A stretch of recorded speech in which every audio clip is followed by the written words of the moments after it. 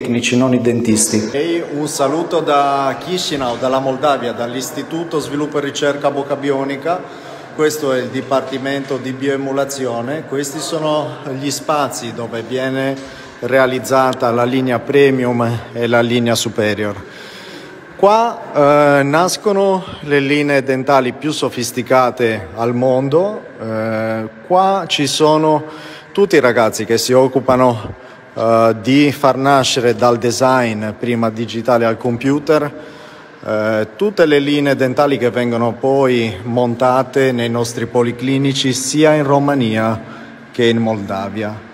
Qua potete vedere le postazioni eh, di scansione eh, dove vengono acquisiti i file eh, delle impronte che arrivano qua fisicamente e ricevono anche eh, tutte quelle che sono le eh, impronte invece digitali che arrivano dai nostri policlinici eh, caricate quindi attraverso internet. Qua vedete per esempio Liviu, il nostro capo design che si occupa della ricezione e trasmissione dei dati poi a, ai policlinici e anche i robot che abbiamo in uh, Romania. Vedete quanti sono i designer. Mm, questo è il futuro. Qua invece abbiamo la uh, parte, possiamo dire, uh, sporca, dove vengono creati i gessi, dove vengono create le basi su cui poi vanno a lavorare con eh, gli altri dipartimenti alla realizzazione finale della dentatura. Questa invece è la sala macchine dove ci sono i robot, la sala di controllo con gli operatori che montano uh, i file che devono essere poi riprodotti in fisico, in tre dimensioni e qua abbiamo i computer che vanno a trasferire quindi i dati che ci arrivano dai ragazzi che si occupano del design, vengono caricate le arcate sopra uh, le basi di fresaggio oppure di produzione metallica. Lì vedete i macchinari che fisicamente trasformano il disegno tridimensionale in un oggetto.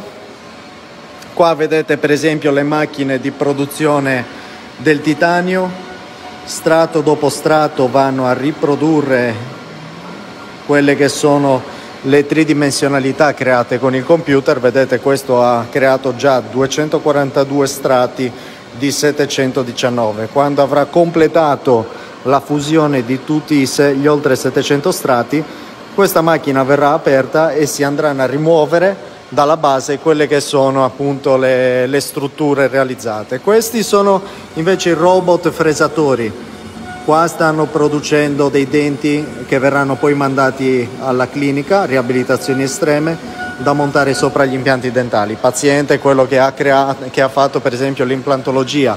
Qua invece vengono eh, fresati sempre da altri robot quelli che sono i denti di zirconio che vanno posizionati sopra all'arcata per esempio superior. Questi sono i materiali che si usano. Ok sono materiali che eh, vengono dalla Germania, dalla, dall'America o dall'Italia. Qua abbiamo invece i ragazzi designer. Andiamo negli altri dipartimenti, ci spostiamo, andiamo oltre e andiamo verso l'area dove vengono poi fisicamente realizzate eh, le montature dei denti sopra a, alle barre metalliche. Questa per esempio è l'area dove viene assemblata Superior. Qua abbiamo invece i ragazzi che si occupano degli aligner, degli allineatori che ci permettono di raddrizzare i denti e qua invece abbiamo il dipartimento di ceramica dove viene eh, finalizzata la riabilitazione, quindi ceramica. La nostra uh, sala conference, qua invece vengono fatte le riunioni e le, le, le riunioni mensili con tutti i ragazzi, qua abbiamo la reception più tutti gli altri uffici amministrativi. Io vi faccio un saluto uh, qua da Chisinau, uh, dal nostro centro di ricostruttiva, di biomulazione. Un saluto a tutto il gruppo. Ciao. Quando poi sarete all'estero le vedrete perché organizziamo dei tour dentro alla cucina.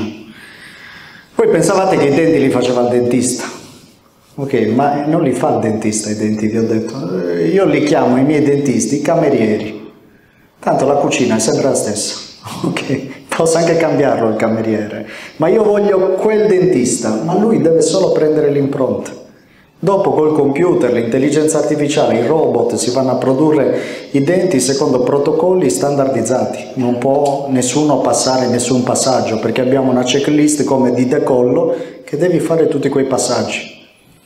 Perché quando lavori con 500 persone devi protocollare e usare tecnologia che ti permette di fare i denti belli a tutti, non i fuori classe. Io ho paura delle volte a lavorare con i fuori classe il Leonardo da Vinci, perché è bravo solo lui. Poi gli altri non li fa crescere gli altri, li tiene sotto di lui, perché così lui guadagna di più. Ma cresci, cresci, cresci, dopo sei anni si stanca uno, va in burnout. Hanno vita breve, come la vita da calciatore. Invece noi dobbiamo essere qua tra 30 anni, tra 40 anni, tra 50 anni. Bisogna creare un sistema che funziona in maniera precisa, Ok, come una Tesla, una fabbrica della Tesla, le auto si fanno col computer, non si fanno a mano le auto, si fanno col computer e si producono con i robot. Dopo le assembli a mano, ma va ridotta al massimo l'interazione umana al momento della produzione. Non voglio la vetreria di Murano. I designer prendono denti che esistono già, librerie di denti reali che esistono già, ce ne sono centinaia di librerie, devono essere bravi a giocare col computer, nel senso a assemblare i file. Sono ragazzi questi che giocano tutti i giorni con la PlayStation, vedete, fanno 8 ore al giorno giocando col computer, praticamente. Non stanno usando le mani, stanno usando un mouse e una tastiera. I denti vengono prodotti da delle macchine che non si arrabbiano, non hanno i chiari di luna, queste sono macchine molto costose.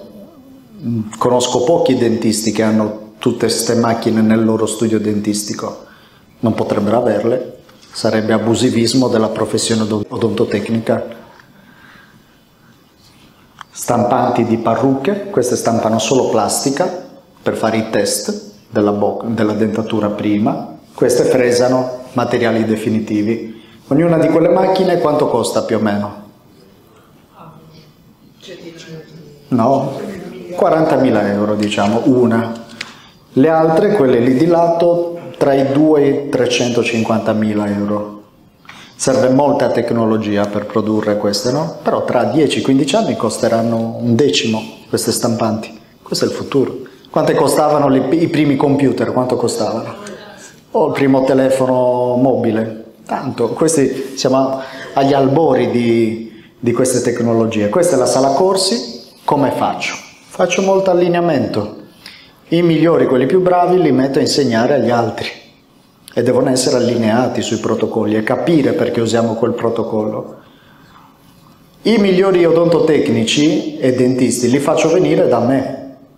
Non mando 500 persone a Toronto a fare il corso da quello, faccio venire lui, mi costa meno che mandare 500 persone in aereo. È avere la sala corsi dove ospito ogni mese a rotazione persone di diverse discipline che sono però coerenti con quello che facciamo. E insegno anche io, insegno ai pazienti, perché i pazienti devono essere consapevoli di cosa stanno andando a fare. I migliori pazienti sono i pazienti ci sono anche gli impazienti. Okay. Gli impazienti non capiscono che è un processo, è una riabilitazione, non puoi in dieci minuti fare quello che la natura fa in sei anni, un dente si fa in sei anni la natura, ma bisogna renderli consapevoli di quello che devono fare. I migliori pazienti sono quelli più istruiti, che sanno tutto di quello che hanno fatto e che dovranno fare, del perché non funzionava e funzionerà perché saranno quelli che poi non rompono le gambe bioniche, perché sono quelli che avranno cura poi mai lavorare con, con persone che sono ignoranti. farai delle bellissime cose, non le capiranno e penseranno che si è rotto per causa di lui, invece è lui che strappava l'osso. Okay? La base dell'aftercare, dell'assistenza, è lavorare solo con pazienti che fanno un uso corretto dell'automobile. Persone che trattano male l'auto, l'auto dura poco. Per esempio il concetto entra dall'Apple Store, compra un iPhone e lo lancia dalla finestra. Poi vai e dice è in garanzia, ne dai un altro. Ok? Se invece una persona che ha lavorato per quello, addirittura neanche gli dai la garanzia, ci sta molto più attento. Ne ha cura e averne più cura significa meno tappe chirurgiche. Ci ha fatto molti sacrifici anche andare sotto i ferri, sono 15 ore di bocca aperta, ok? Tra riff e raff, come si dice, no? 15 ore, ti immagini rifarlo ogni due anni, ogni tre anni? Vediamo ogni tanto pazienti che escono dalla chirurgia, vanno giù al ristorante e si accendono la sigaretta. E faccio, ok, tanto sei tu che arrivai sotto i ferri. La migliore eh, arma è la consapevolezza, far vedere i denti sporchi, i denti rotti, far vedere che tutto è trasparente, vedrete tutto quello che si va a fare, passo per passo, solo così che si rende conto di cosa uno avrà poi in bocca, che è una bocca artificiale bionica, la chiamo io, non naturale. E la base è far scoprire al paziente quelli che sono i processi di lavoro, che non devono strappare il cibo, metterli tutti poi su un gruppo che ci, ce ne parla concetto.